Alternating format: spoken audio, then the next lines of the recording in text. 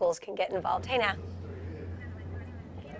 Good morning, you guys. We're here hanging out at Bryte Career and College Training where they're turning this blank wall right here into a beautiful work of art with an amazing message. So this work of progress has been going for about two weeks right now. They think it'll take about two more weeks till they finish. It's actually one of several projects that the artist and his fellow artists have been working on. So I have Markos here. He's been doing sort of these partnerships for about 20 some odd years. Tell me a little bit about how you got involved in this particular one.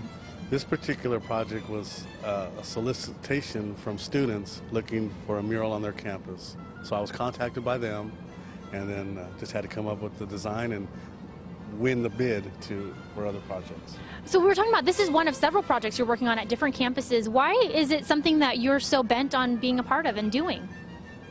I consider myself a community artist and I like to give back to the community in some ways. And what I like to propose or put out visually is high impact messaging. So, you know, we do it all the time. We see it out there every day in corporate America with our fast food signs, for example. I like to add my part, except mine's unique. It's one of a kind.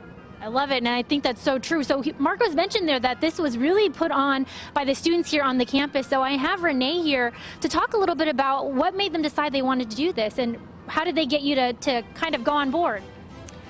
Well, um, our FFA students approached me about doing this project. They uh, they were feeling like we needed a little more color on campus. Our campus has been open since August of 2015, and so they approached me about this, and, and they approached their teacher, and and we decided, you know, if it's a project worth pursuing, and so they uh, went out and they solicited three different muralists for the project. They went out and they uh, found funding for the project through the California Partnership Academies, and uh, and then they they continued to work with the muralists. They went to the board to get approval or uh, from the board, and so they've really taken this project and um, and owned this project, and they've brought this beautiful painting to life. So it's really um, it's really a nice um, testament to to uh, their efforts.